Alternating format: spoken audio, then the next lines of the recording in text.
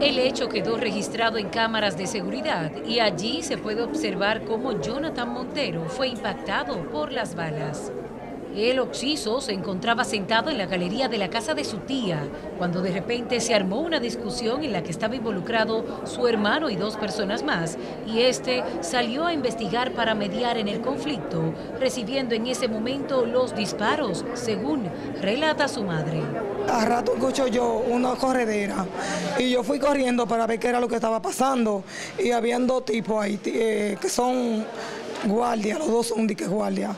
Y ellos estaban tirando tiros. Primeramente uno tiró un tiro para arriba y el otro tiró un tiro, el otro tiro derecho para la frente de mi niño y me lo mató de una vez en un instante. El hecho ocurrió cerca de las 2.30 de la madrugada en un colmado en el sector El Quilombo en Quitasueño de Jaina. Yo exijo que se haga justicia sobre eso que me le hicieron a mi niño, que eso fue un abuso, que esos delincuentes y que policía me le hicieron a mi hijo, que ellos son un delincuente, eso no es policía.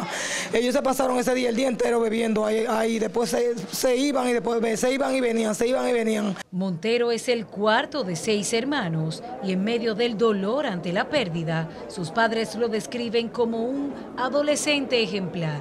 Era un niño que estaba en su escuela, en su estudio, estaba en su escuela, en su estudio, ya pasando tercero de bachiller. Para esas dos personas venía aquí a quitármele la vida a ese niño.